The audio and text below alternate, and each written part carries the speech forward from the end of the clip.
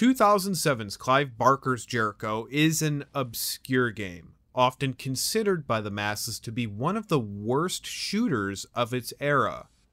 Some would even go to make videos and reviews calling it the worst game ever made. Whenever I hear that phrase, worst game ever, I always wonder just how many games that person has played to come up with this conclusion and what games they've played. I'll be straight up with you right off the bat. This is definitely not the worst game ever made. And it doesn't even come close to it either. No, absolutely not. But it does have plenty of glaring issues that I will address during this review. What I think is fascinating is the developer of the game, MercurySteam. This name caught my eye, and I knew I heard of it before, but I, I couldn't place where. Then, about halfway through playing Jericho, I finally figured it out. This is the company behind those Castlevania Lords of Shadow games that were also generally disliked. Not only that, but this is the company that somehow made the best selling Metroid game of all time. So, how is it that a developer could go to make one of the worst, allegedly, worst games of all time to the best selling of a massive Nintendo franchise. That is absolutely wild. And fun fact, this game for some reason got a Steelbook Collector's Edition. I would know, because I have it for the 360. It's actually kind of awesome to be honest with you, but I think part of that is because I'm a sucker for Steelbook cases. The premise of the game is centered around the main antagonist, the Firstborn. The basic concept here, without getting into too much detail, is that before God created Adam and Eve, God created a creature so powerful and so dangerous that he banished the Firstborn into the abyss. But God underestimated the overwhelming power of the Firstborn, and over the course of history, the Firstborn would make several attempts to break out from the abyss into the mortal world, and each time taking bits and pieces from the regular world into the abyss. And any more attempts could prove to be disastrous, completely destroying the world as we know it. That brings us to modern time, where the Jericho Squad is sent to a place called Al Khali, where they learn that someone is trying to open up a portal to unleash the Firstborn once more. The game starts off really shaky, primarily because Ross, the main character, isn't very interesting. Unlike the majority of Jericho Squad, he has no special powers, let alone any powerful weaponry, whereas everyone else does have special powers, various equipment, and or better firepower. I guess that's not true. He does have the power to heal a downed ally, but Rawlings can do that as well, so he's not unique at all.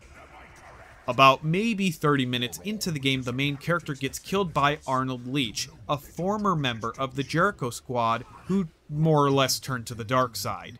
But for some reason, Ross's spirit still remains with the Jericho Squad. He's now able to take control and command the others in the unit, some of which are awesome, while others are downright pitiful. What is bizarre is how the main character reacts to his whole death scene. It's like he flat out doesn't give a shit. Ah, yeah, I guess I'm dead, but hey, I can take over people's bodies now. That's cool, right? It, it's such a bizarre, strange sequence of events. Delgado, can you hear me? Rawlings, it's me, Ross. I don't know what happened. I think I'm in him. Put those away, damn it. It's me. Prove it. Jesus Christ, Paul. Should I tell them about Prague, or do you want to trust me on this one? We saw you die. Leach killed you.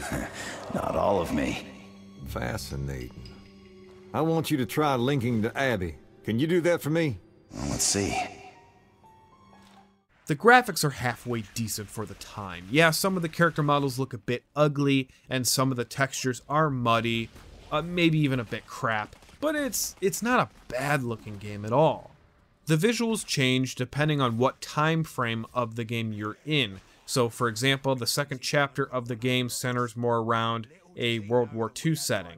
And in a later chapter, it goes to like medieval times, then ancient Rome, and so on. It's really interesting because they take these time frames in history and make them much darker and, and much creepier, fitting into the occult setting of the game very, very well.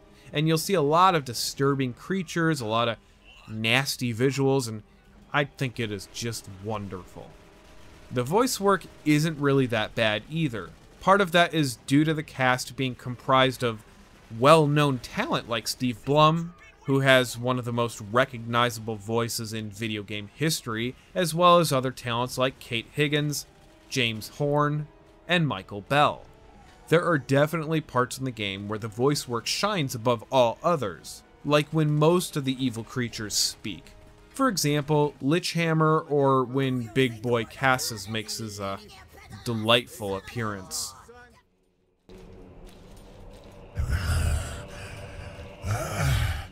New guest. Have you come to join the feast? There's plenty for all. He's inside my head. Won't you come closer? My eyes have grown so weak over time. Jesus. Is that magic I smell amongst you? Why, this isn't another batch of outsiders come to ruin our party, is it? Oh, I love your kind more than any other. The sport is almost as satisfying as the flesh. I got first dibs on the fat man. It's all yours.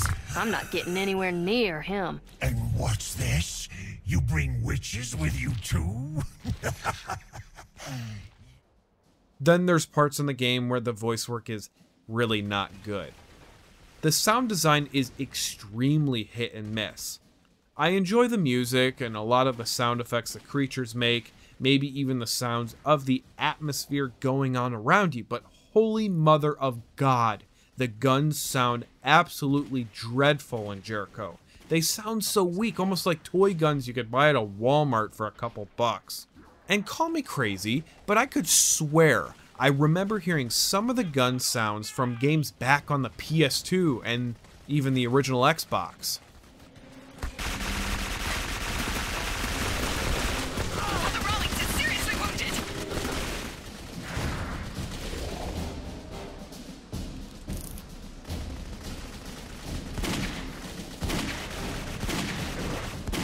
Troubling us anymore.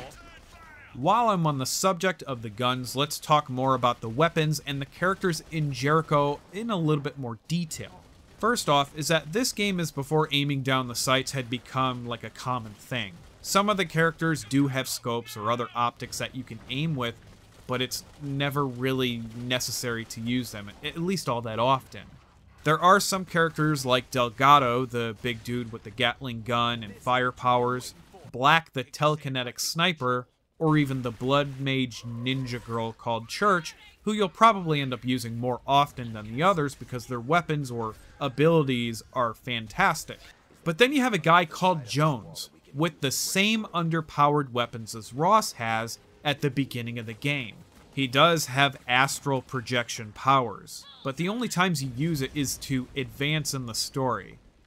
Outside of that, I don't have a clue why you would ever use this character.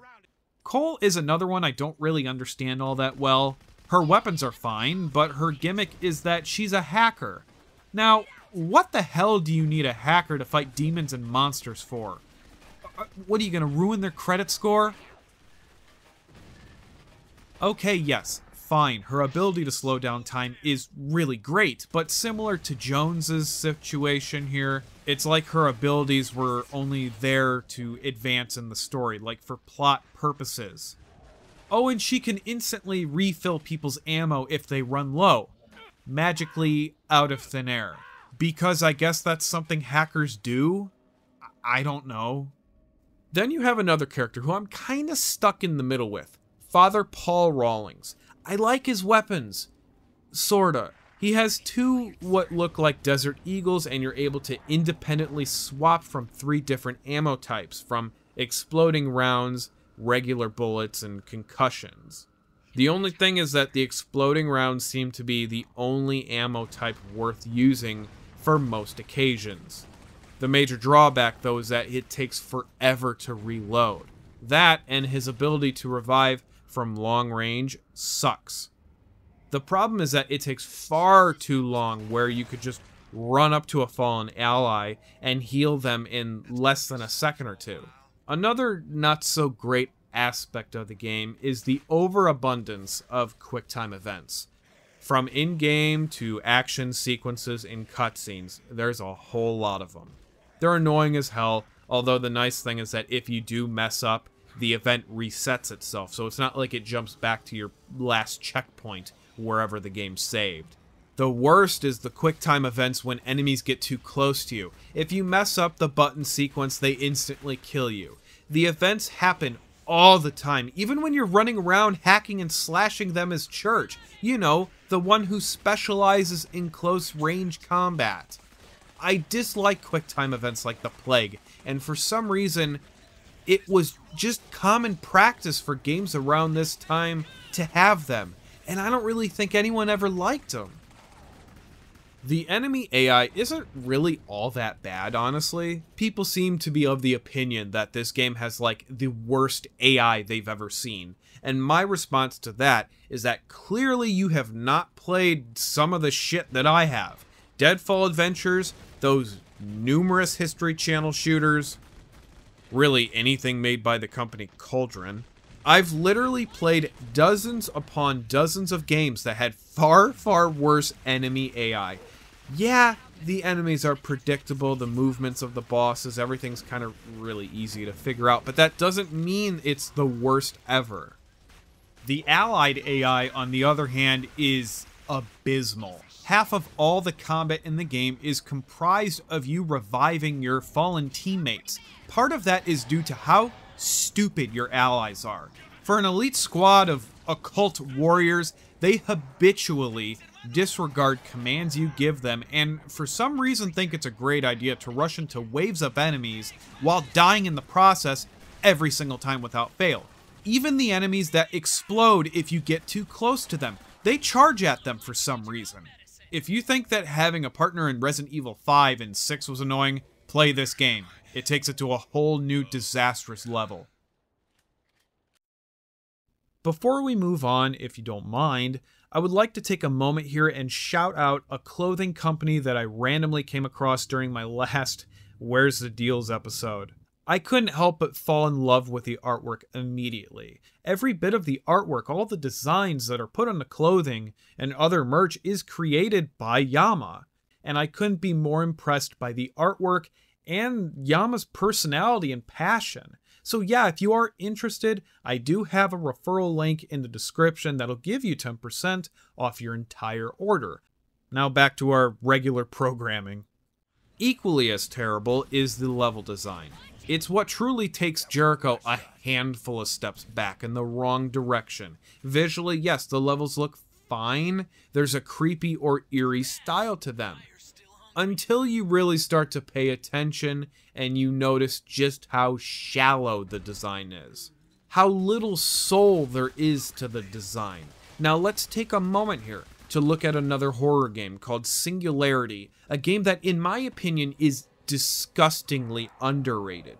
The attention to detail in Singularity is absolutely incredible. I mean, just look at it. You could spend hours and hours just exploring the levels, admiring the visuals alone, and how much time must have went into creating them. Then you have Jericho, a lot of tight spaced corridors with random crates, random barrels, and knocked over barrels for no apparent reason other than I guess that's what the devs had in their files of objects to throw into their levels? there's no sense of real immersion, nothing that really draws me in. It's like the levels aren't even completely fully made, as if they're like beta versions of an unfinished product, if that makes any sense.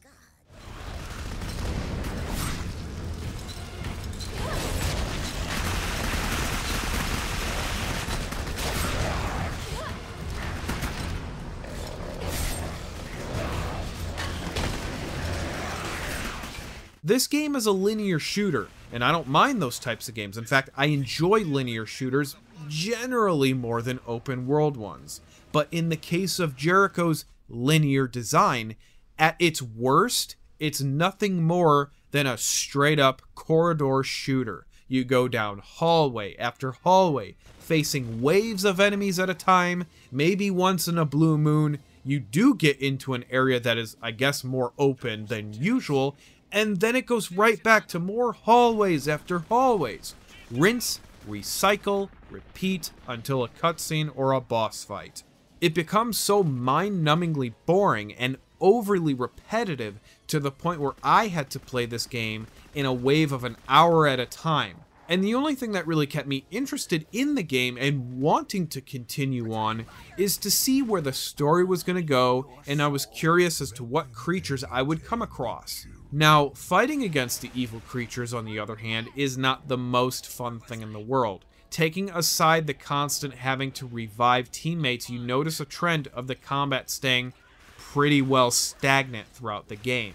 There's parts of the combat that are frustrating and or flat out annoying, like how every enemy in the game is an absolute bullet sponge, taking nearly a mag, if not more, from a standard machine gun to kill them. Certain weapons are obviously more powerful than others, but even the sniper at times can take like three or four shots center mass to down even the most basic enemy. If you are looking for a truly scary game, Jericho just does not fit the bill. It is not scary at all outside of the frightening looking enemies and disturbing visuals. It's more of an action shooter with horror themes to it. It is not at all like a survival horror. There's nothing about the game that is scary like how Silent Hill is, or Resident Evil, Fatal Frame, maybe even Amnesia, for example. And I don't really say that as a negative thing towards Jericho, as more of a warning to others who are wanting a true horror experience. To be honest with you, going to the grocery store and seeing the prices for a pound of meat is much more frightening than anything in Jericho. This game has nothing on that. If you have seen my videos before, you must know by now that most of the games I cover are in the obscure variety, and they tend to have issues with frame rate. Jericho, to my surprise, doesn't have any frame rate problems that I personally came across. The quick time events, cutscenes, and in-game combat, I didn't seem to come across any sort of graphical issues at all, not even any bugs either, which is very, very strange the more I think about it. Before I move on, I do need to point out two things the game can be completed in around 5 to 6 hours, and that would be fairly standard for single player campaigns, but Jericho does not have any form of multiplayer, competitive, or co op. There's not a whole lot of replay value here outside of, I guess, achievements if you do decide to go that route. The other thing is the ending of the game. It's become somewhat controversial for being one of the strangest and worst endings in video game history, even cracking people's top fives and top 10 lists. I don't exactly see why it's considered one of the strangest, but as far as it being terrible, yeah, it, it absolutely is. Spoilers, I guess, if you care. So the last battle is with the child or the Firstborn, which was obvious from the start of the game that this was going to happen. However, beforehand, a few of your squad members get killed in brutal fashion by the Firstborn. Against us. However, if you're currently in possession of silence, Oh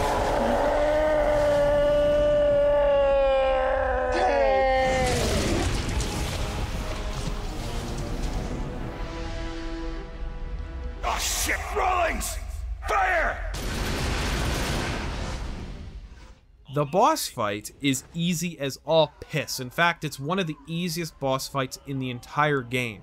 And when you beat him, for some reason, Arnold Leach, the guy who killed Ross at the beginning of the game, decides to help Jericho and takes the child away into the portal. Why? I guess because he started it and now wants to finish it? the cave that you guys are in starts to collapse. So you guys escape from the bottom and boom, credits. Uh, okay, what? what is Ross just permanently a ghost trapped in the body and mind of his friends? Did did the firstborn ever truly get sealed it, in that portal? Why did Leach help? What's going on? Why? Who okayed this?